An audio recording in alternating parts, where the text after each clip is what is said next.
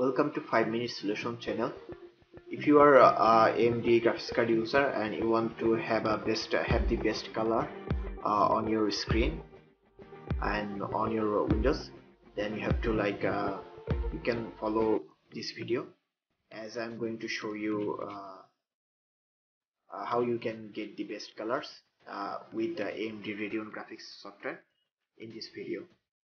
So first you have to right click on desktop and click on AMD Radeon software.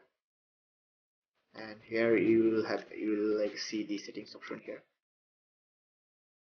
Under settings option uh, you will find many tabs.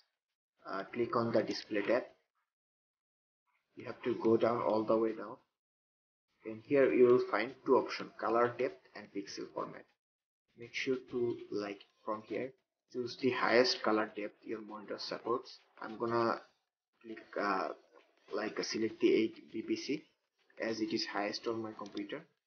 And like I have already selected that and for pixel format you have to click on uh, this one.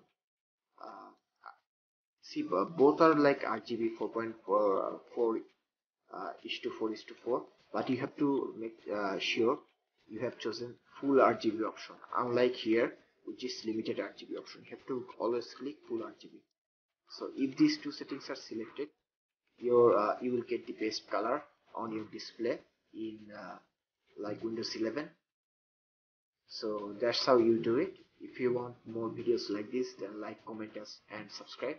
And also thank you very much for watching this video